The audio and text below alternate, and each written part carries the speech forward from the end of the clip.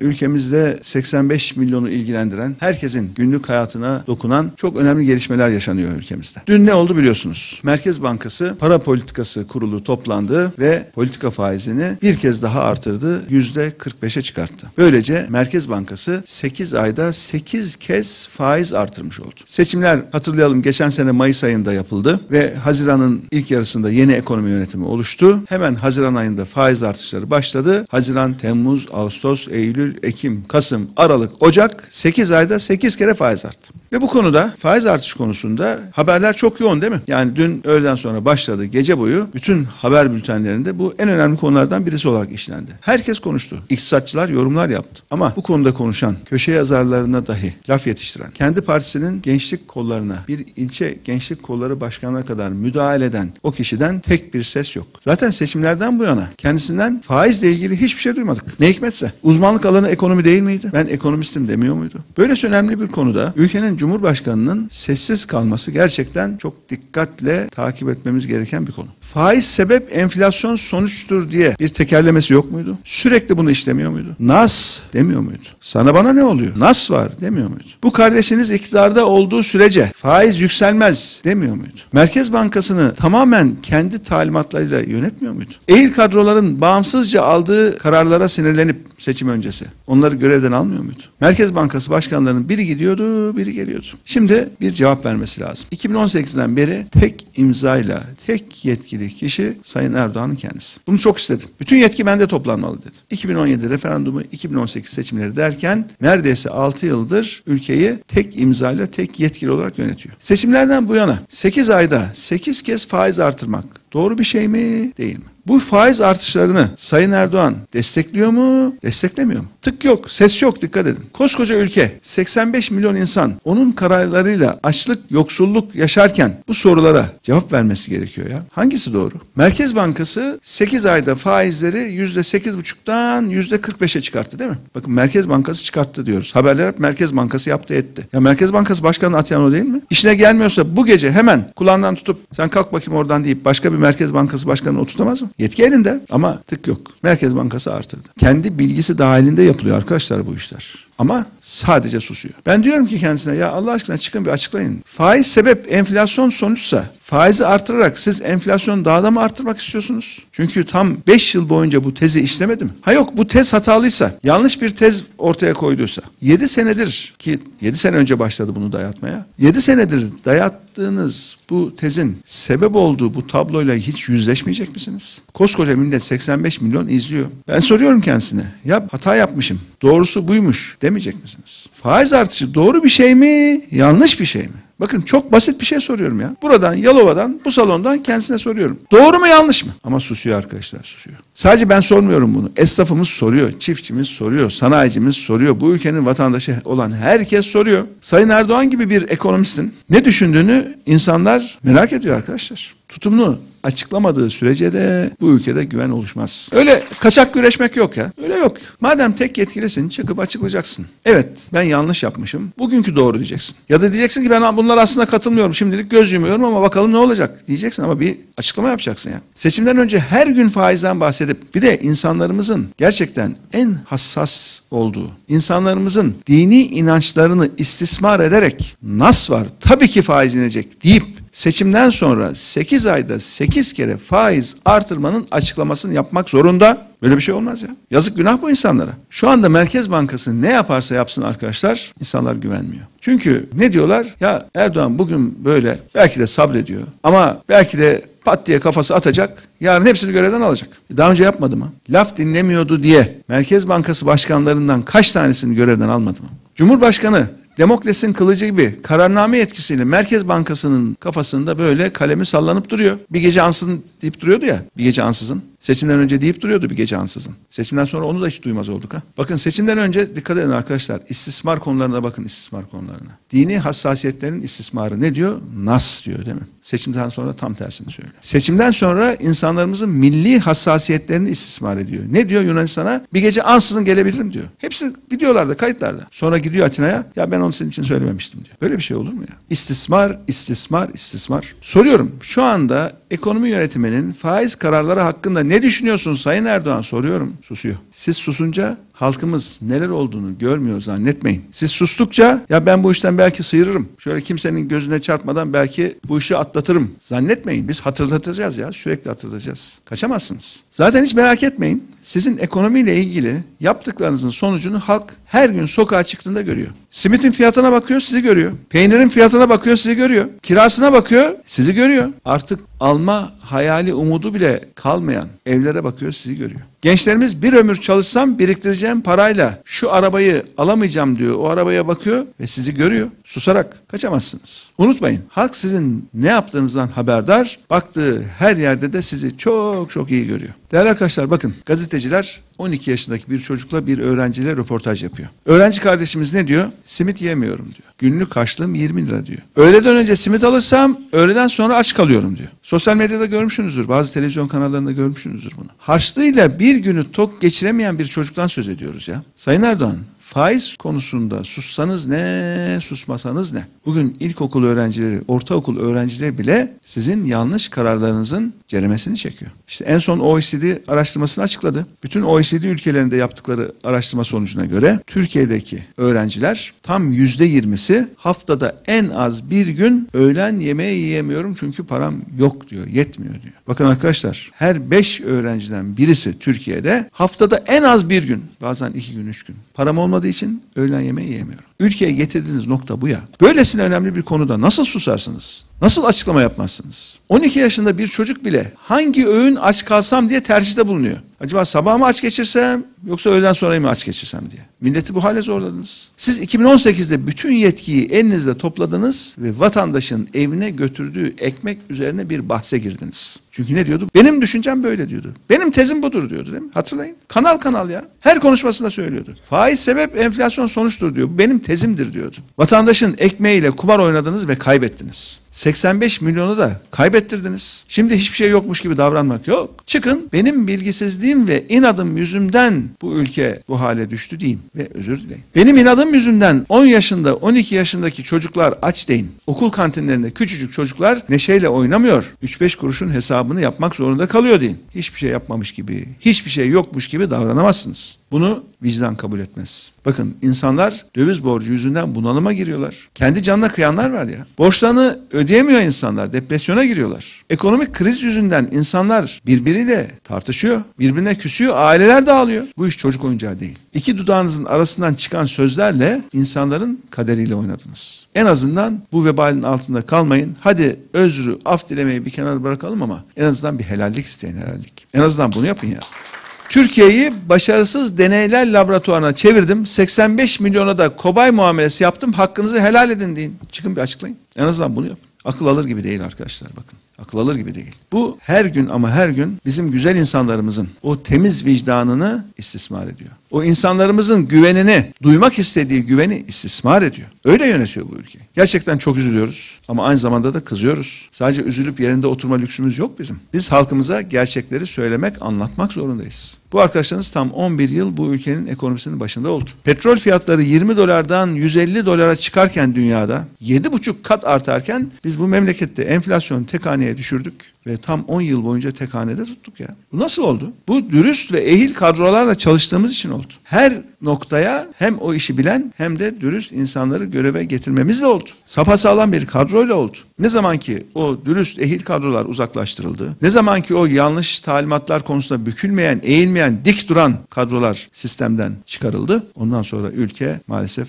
bu hale düştü. Çok yazık. Değerli arkadaşlar, içinde bulunduğumuz coğrafya gerçekten çok zor, acı günlerden geçiyor. Filistin'de, Gazze'de insanlar aç, bir ilaç çözüm bekliyorlar. Gerçekten yakın tarihimizde görülmeyen bir zulümle Filistinliler, Gazze'de yaşayan kardeşlerimiz karşı karşıya. Gazze'liler evlerini kaybettiler, bu işgalcilere yetmedi. Hastanelerini, camilerini, okullarını, üniversitelerini kaybettiler, işgalcilere yetmedi. Anne babalarını, evlatlarını kaybettiler. Yakınlarını toprağa verdiler, işgalcilere yetmedi. Durmuyorlar. Katliama aynen devam ediyorlar. İlk günden beri Gazze'deki Filistinlilerin varlığına düşmanlar onlar. İlk günden beri Gazze'lileri sistematik bir açlığa mahkum etmek için çalışıyorlar. Arkadaşlar bakın hemen sınırımızın birkaç yüz kilometre ötesinde insanlar açlıktan, susuzluktan her gün kırılıyor. Tam 2 milyon Gazze'li şu anda aç. En temel gıda ihtiyaçlarına, içme suyuna ulaşamıyor bu insanlar. Şans yaver gidip de işgalden kurtulanlar yarın sağlık sorunları sebebiyle hayatlarını yitirebilirler veya engelli olarak kalabilirler. İnsanlar açlıktan ölürken iç siyaset gündeminin, Türkiye'deki iç siyaset gündeminin Gazze'deki insanlık dramının önüne geçmesine izin veremeyiz. Hiçbir zaman unutmayız, unutamayız. Seçim geliyor diye sadece biz kendi meselelerimizi konuşamayız. Bu vicdana da sığmaz, insanlığa da sığmaz. Gazze'yi bu yüzden her fırsatta hatırlamalı ve hatırlatmalıyız. Mesele Filistin ise, mesele Gazze ise iktidar, muhalefet demeden tekrar ediyorum tek ses olmalıyız.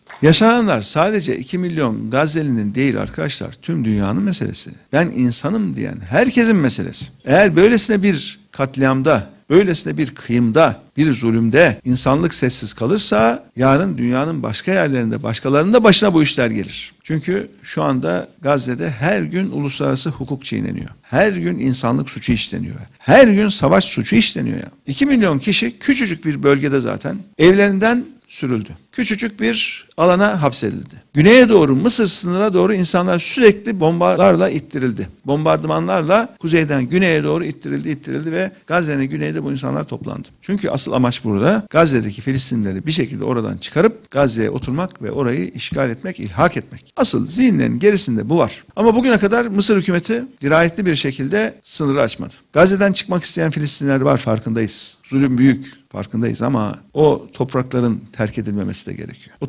toprakların işgalcilere bırakılmaması gerekiyor. Bunun içindir ki biz her zaman Gazze'deki Filistin'de kardeşlerimizle dayanışma içerisinde olmak zorundayız. Türkiye bu sistematik katliamda Hamasi söylemlerin değil çözümün tarafı olmak zorundadır. Türkiye Gazze'deki insanlık krizi için çaba göstermek, çözüm önerilerini bir an önce somutlaştırmak zorundadır. Kalıcı barışın konuşabildiği bir ateşkes için gerekli diplomatik adımlarda derhal atılmalıdır. Doğusuyla batısıyla insanlığın yanında olan her devlet bilhassa İslam ülkelerinin hükümetleri kendi aralarındaki, kendi işlerindeki ihtilafı bir kenara bırakıp İsrail'e karşı diplomatik, siyasi, hukuki ve ekonomik adımları atmada yekpare hareket etmek zorundadır. Bakın 25 bin insan öldü ya. Yani 2 milyon 300 bin kişinin yaşadığı bir bölgede 25 bin insan öldü. Bu çok büyük bir sayı. Çok büyük bir oran. Buradan ben yine Sayın Cumhurbaşkanı'na sesleniyorum. Gazze'de insanlar ölmeye devam ederken bu insanlık dramına karşı neler yaptınız bugüne kadar bir açıklayın diyorum. Yeri geldiğinde maddi konularda rahatlıkla el sıkıştığınız ülkelerle ister Katar olsun, Birleşik Arap Emirlikleri olsun, Suudi Arabistan olsun. Bu insanlık dramını önlemek için hangi konuları masaya yatırabildiniz? Türkiye'de bütün bu saydığım ülkelerde İsrail olan ticaretlerine hiç ara vermediler. İlk katliam başladığından bu yana Türkiye ile İsrail arasındaki ticarette en ufak bir aksama yok. Her ay yüzlerce gemi gidiyor geliyor. Ve o gemilerin taşıdığı malzemelerin bazıları doğrudan İsrail ordusunun ihtiyacı olduğu onların kullandığı malzemeler. Dikkat edin ilk günden bu yana laf üretmekten başka, hamasetten başka şu andaki hükümetin yaptığı bir şey yok arkadaşlar. Yok. İnsanlarımız üzgün, kızgın. E tabii ki hadi şu meydanda toplanalım dediğinizde e tabii ki insanlar meydana geliyor. Tabii ki mitingler yapabiliyorsunuz. Bu kadar hassas bir konuda tabii ki insanlar feryat ediyor. Ama siz feryat eden ya da sadece insanların meydanlarda feryat ettirmekten ibaret bir politika uygulayamazsınız. Bu çünkü ne oluyor? Sadece laf üretmek oluyor. Bu sadece hamaset üzerinden siyaset oluyor. Sonuca bakın sonuca. Sözünüzün bir etkisi oluyor mu ya? İşte ABD Dışişleri Bakanı Blinken 20 gün önce İstanbul'daydı değil mi? Bu görüşmede Gazze'de yaşanan katliamla ilgili ne konuşuldu? Onlara ne söylediniz? Onlar size ne söyledi? Bu görüşmeden hangi sonucu aldınız ya? Görüşmede İsveç'in NATO üyeliği dışında bir başka konu var mıydı? Gazze'nin işgaliyle ilgili önümüzdeki takvim nedir? Bu işin çözümüyle ilgili plan program nedir? Bir şey duydunuz mu? Hiçbir açıklama duydunuz mu? Yok. Her geçen dakika, her geçen saat, her geçen gün Gazze'de insanlar ölmeye devam ediyor arkadaşlar. 25 binden fazla insan katledildi dedim ya. Bunun 10 binden fazlası çocuk. Sayın Cumhurbaşkanı diplomatik siyasi yolları daha fazla kullanmak için, Gazze'lerin sesi olmak için, bu drama son verdirmek için one minute demek için neyi bekliyor acaba? Neyi bekliyor? O one minute meselesi 2009'du. Unutmayalım. Türkiye'nin ekonomik gücünün, siyasi gücünün, diplomasi gücünün zirvede olduğu dönemdi. Bu arkadaşınızın Dışişleri Bakanı olduğu dönemdi. Siz ülkenin o ekonomik gücüyle, uluslararası itibarının verdiği gücüyle o lafı edebiliyordunuz. Bugün ne oluyor? Konuş, konuş, konuş. Netice yok. Çünkü siz dış politikada bu kadar U dönüşü yaparsanız, bu kadar zikzak yaparsanız, daha dün katil dediniz, Veliaht Prens'e sarılıp sarmaş dolaş olup bana para ver dersiniz. Daha dün 15 Temmuz hain darbe teşebbüsünün finansörüdür dediniz ülkenin emrine gidip sarılıp bana para ver dersiniz. Bu ülkenin itibarı kalır mı ya? Böyle bir şey olur mu? Daha dün zalim dediği sisinin elini sıkmak, aynı fotoğraf karesine girebilmek için Katar'ı arabulucu olarak araya sokmak zorunda kalırsanız bu ülkenin itibarını bırakır mısınız? Kalır mı bu ülkenin itibarı? U dönüşü, zikzak. Bir öyle bir böyle. Onun için olmuyor arkadaşlar. Onun için sözün gücü kalmıyor. Söylediğinin bir etkisi olmuyor. Çünkü diyor ki insanlar ya sen bugün böyle konuşursun yarın ne diyeceğin hiç belli olmaz arkadaş. Sabah uyanırsın bakarsın başka şey de söylersin. Bugün kızarsın söversin yarın barışırsın sarılırsın. Ülkenin geldiği nokta bu. Ve gerçekten arkadaşlar bakın şu konuşmamı başından bu yana ortalama hesaplara göre Gazze'de iki çocuk daha öldü biliyor musunuz? Çünkü her 10 dakikada savaşın çıktığı günden bu yana her 10 dakikada bir çocuk öldü. Konuşmam herhalde 20 dakika olduysa işte hesap ortada. Ortalamalara göre iki çocuk daha öldü. Gerçekten çok üzülüyoruz ve ülkenin itibarını düşürenler, ülkenin ekonomisini zayıflatanlar bunun sorumlusudur diyoruz. Kısa bir anekdot anlatayım. Yine o yıllarda benim Dışişleri Bakanı olduğum dönemde İsrail Başbakanı, o günkü Başbakan Ehud Olmert geldi Türkiye'ye. Dedi ki halkımdan baskı var, kabinemden baskı var. Benim Gazze'ye bir askeri operasyon düzenlemem gerekiyor dedi. Bakın çıkıyor geliyor Ankara'ya adeta izin istercesine bize bunu söylüyor. Bizim dediğimiz ne oldu biliyor musunuz? Yapamazsın arkadaş. Bu kadar. Bu ülke böyle bir ülkeydi ya. Böyle bir ülkeydi. İnanın çok üzülüyoruz. Ama inşallah ehil ve dürüst kadrolarla, işi bilenlerle bu ülke çok hızlı ayağa kalkar. Bu ülke güzel bir ülke, büyük bir ülke. Aslında çok güçlü bir ülke. Sadece kötü yönetildiği için zayıfladı. Kötü yönetildiği için itibarı zaafa uğradı. Kötü yönetildiği için bugün emeklerimiz, çiftçilerimiz, öğrencilerimiz perişan. Değerli arkadaşlar konu çok. Tabii ki ülkemiz her alanda çözüm bekliyor. Ama biliyorsunuz bu güzel coğrafya Yalova birçok acıya şahit oldu. Yalova deprem yaşadı. Yalova toprağın altına sevdiklerini verdi. Ve 99 depreminden bu yana da tam 25 yıl geçti. Ağustos'ta tam 25 yıl doluyor. Unutmayacağız. Çarpık kentleşme devam ediyor mu Yalova'da o gün bugündür? Herkes kafasını sallıyor. Evet. Denetimsizlikler, imar afları, kontrolsüz yapılan binalar devam ediyor mu? Evet. Bütün salon evet diyor. Kentsel yenilenme yavaş mı? Yavaş. Evet. Arkadaşlar deprem gerçeğini kabullenmekle ona somut önlemler almak, planlar yapmak, çözümler üretmek iki farklı şey. Biz 17 Ağustos 2021 tarihinde ne yaptık? Daha bir yaşındaki bir siyasi partiyken, şu anda 4 yaşındayız. Bir yaşındaki bir siyasi partiyken afet eylem planımızı açıkladık. Yani bir hükümet, bir devlet afete karşı nasıl hazırlanır? Bakın böyle karınca duası gibi yazılarla tek tek tek tek tek tek hepsini ortaya koyduk. Afet yönetimi eylem planıyla ülkemizin sadece depreme değil her türlü afete karşı nasıl hazırlanacağı, afet öncesi hazırlık, afet anında neler yapacağı ve afet sonrası yeniden ayağa kaldırmayla ilgili hangi kurumsal yapılar kurulmalı, neler ortaya konmalı tek tek tek tek burada yazdık açıkladık. Afet durumunda medyanın doğru, sürekli ve güvenilir bilgiye ulaşmasını sağlayacağız dedik. Burada yazılı. Şeffaf olacaksın, açık olacaksın. Halktan bir şey gizlemeyeceksin. Hatırlayın 6 Şubat depremlerini. Biz devlet derhal müdahale etsin, vatandaşları kurtarsın diye beklerken ilk icraatları ne oldu? Twitter'ı kapattılar ya. Panik halinde, panik halinde. Hani afet büyük ya. Twitter'ı kapattılar. Biz afet yönetim kurumlarını yenileyeceğiz dedik. İnsanları enkazdan kurtarmakla görevli kurumların binaları ilk çöken binalar oldu. Biz gönüllü arama personelinin sayısını artıracağız dedik burada. Gönüllü madencilerin deprem bölgesine ulaşması günler sürdü. Değerli arkadaşlar biz buraya ne yazdıysak o. Yönettiğimiz belediyelerde de afet sırasında ve afet sonrasında yapılacaklar için afet yönetimi sistemini inşallah oluşturuyoruz. Ne yazdıysak o. Depreme dayanıksız binalara ruhsat veren imar aflarının önüne geçeceğiz. Hepsi yazılı. Oy uğruna çarpık kentleşmeye, mezar binalarına müsamaha yok. Çünkü arkadaşlar bizim oy uğruna toprağa verecek tek bir canımız dahi yok. Biz yaşanır bir kent anlayışıyla yola çıktık. Yeşil, çevreci, sosyal alanlarıyla, parklarıyla her bir kentimizin yaşanabilir bir kent olması için çalışacağız. Sığınmacı sorununa nefretle değil. İstismarla değil. İnsan onuruna yaraşır muameleyle çözüm sağlayacağız. Bugün şu anda Suriyelilerin kendi ülkelerine dönmesinin önündeki en önemli engel ne biliyor musunuz? Vatandaşlık verilmesi. Normalde Türkiye'de geçici sığınma statüsü altında olan insanlar kanunda yazılı vatandaşlığa başvuramıyorlar bile. Başvuru hakları bile yok. Ancak bir başka kanun maddesi var ki istisnai vatandaşlık diye Cumhurbaşkanı tek başına istediğini aklına eseni vatandaş yapabiliyor. Yaklaşık 4 milyon Suriyeliden bugün 200 binin üzerinde vatandaş yapıldıysa bunların hepsi tek tek tek imzayla Sayın Erdoğan'ın imzasıyla vatandaş yapılan insanlar. Peki ne oluyor? Rakamları yuvarlayarak söylüyorum. 4 milyonun 200 bini siz vatandaş yaptığınızda geri kalan 3 milyon 800 bin ne diyor? Ya ben de biraz daha bekleyeyim diyor. Hemen gitmeyin bari diyor. Belki tombala bana da çıkar diyor. Belki diyor bir sonraki kararda diyor Sayın Erdoğan bana da bir güzellik yapar. Belki beni de listeye katıverir diyor. Ben de birden vatandaş oluveririm diyor. Niye döneyim ki Suriye'ye diyor şu anda diyor. Çünkü Türkiye Cumhuriyeti vatandaşlığı kıymetli bir şey arkadaşlar. Değerli bir şey. Ve inanın başka hiçbir ülkede, dünyada hiçbir ülkede bu kadar kolay vatandaşlık dağıtılan bir ülke yok. Böyle bir şey yok ya. 250 bin doları bas, vatandaş ol. Suriyeli sen her gün tombala çıkıyor. Cumhurbaşkanı atıyor imzayı, vatandaş yapıyor. Böyle bir şey yok. Vatandaş olmanın şartları vardır. Uzun süreçleri vardır. Önce onu bir hak etmek gerekir. O ülkeye yararlı katkıda bulunan bir insan olduğunun ortaya konması, kanıtlanması gerekir ki vatandaş yaparsınız. Nereden tutsanız inanınız dökülüyor, dökülüyor. Nereden tutsanız sistem allak bullak olmuş durumda.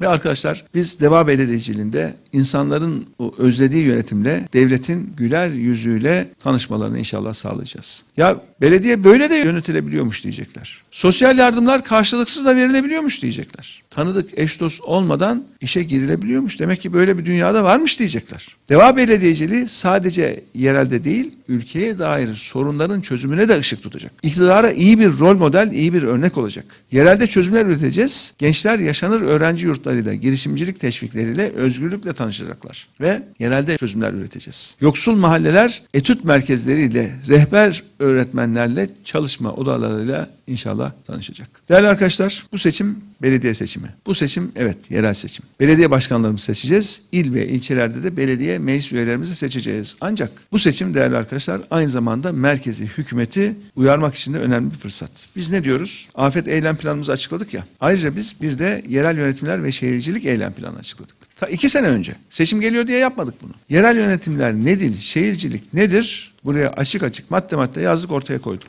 Bunlar hep böyle fasikül fasikül yayınlandı ve en sonunda da bütün çözümlerimizi yeri gelmişken göstereyim. Türkiye'nin devası diye bu kitapta topladık. Böyle bir şey yok.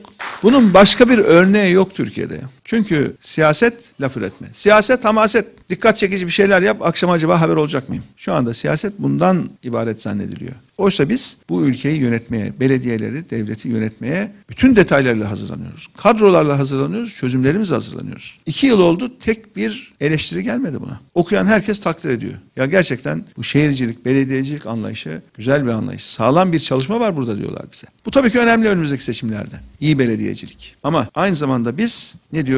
Belediyeciliği temiz yapacağız diyoruz. Bu da Türkiye'de bir ilk. Bu bizim deva belediyeciliğe ilgili etik kurallar bildirgemiz. Yani burada tam 3 sayfa halinde ahlaki kurallar yazdık. Bizim adaylarımız önce bunu imzalıyorlar, ondan sonra adayımız oluyorlar. 100 yıllık cumhuriyette 70 yıllık çok partili hayatta 4 yaşındaki bir siyasi partinin mi aklına gelmesi gerekiyordu bunu ya? Çünkü arkadaşlar Kanunlar esnek sünüyor. Bir de kitabına uydurma denen bir şey de var. Ama biz ne yaptık? Evet kanun orada. Ancak biz kendi koyduğumuz etik çerçeveyle, ahlaki çerçeveyle bizim belediye başkanlarımızın hangi sınırlarda çalışacağını da ayrıca belirledik. Ve bunun da genel merkez olarak tüm Türkiye'de takipçisi olacağız. Ve çok büyük bir emek var ha. Üç sayfa ama teknik olarak da, hukuki olarak da bütün uluslararası kabul edilmiş devlet yönetimindeki etik standartlara uygun hazırlanmış bir belge bu. Yani bu belgemiz iyi etkin belediyecilik, bu da temiz belediyecilik belgemiz. Tabii yerel seçimler evet ama yerel seçimlerde değerli arkadaşlar önümüze oy pusulası gelecek ya sandık gelecek ya. Yerel seçimlerde de hükümete uyarı için önümüzde çok önemli bir fırsat oluşacak. Eğer merkez hükümetten memnun değilseniz, iktidar yanlışlar yapıyor diyorsanız bu seçim aklını başına al deme seçimidir. Yanlış yoldasın, yaptıklarından memnun değilim deme seçimidir. Seni uyarıyorum deme seçimidir. Yani aslında arkadaşlar bu seçim hükümete bir sarı kart gösterme seçimidir. Bu seçimde uyaracağız, sarı kartı göstereceğiz. Ama genel seçimde de ne yapacağız inşallah? Hep beraber iki sarı kart ne ediyor? Bir kırmızı kart ediyor değil mi? Genel seçimlerde de inşallah kırmızı kartı göstereceğiz ve bu keyfilik, bu kuralsızlık, bu hukuksuzluk, bu adaletsizlik inşallah sona erecek. Deva'nın adaylarını destekleyerek hem hükümete sarı kart göstereceğiz hem de Yalova bütün ilçeleriyle, beldeleriyle iyi yönetilsin, düzgün yönetilsin diyeceğiz. Bugün Yalova, yarın tüm Türkiye inşallah. Çünkü Yalova kazanacak, tüm Türkiye kazanacak. Deva Partisi